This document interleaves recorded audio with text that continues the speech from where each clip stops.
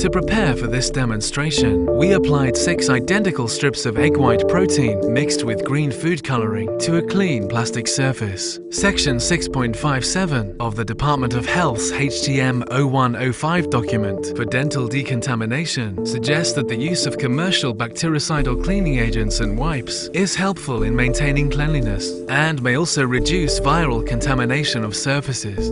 It also goes on to state that care should be taken in the use of alcohol wipes, which, though effective against viruses on clean surfaces, may fix protein and biofilm. Once dry, we apply a competitor product to each strip and leave one strip as a control.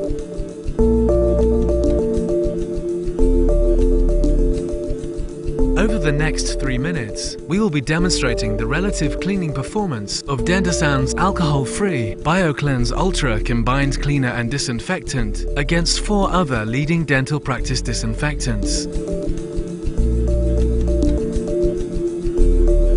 Recent research has called into question the efficiency of alcohol in removing protein, suggesting that alcohol actually binds blood and tissue to hard surfaces, making complete cleanliness difficult.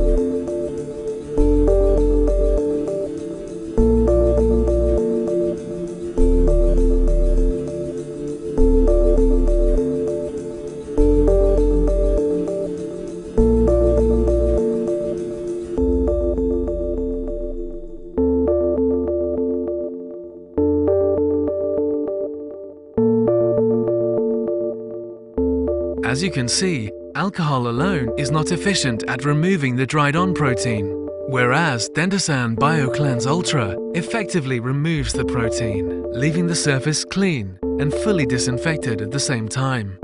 In fact, not only has the alcohol from the competitor products failed to remove the protein, it's actually contributed to the binding of protein to the hard surface. By choosing Dentisan BioCleanse Ultra Combined Cleaner and Disinfectant, not only are you achieving full compliance with HTM 0105 section 6.57, but you're doing your cleaning and disinfecting in a single stage.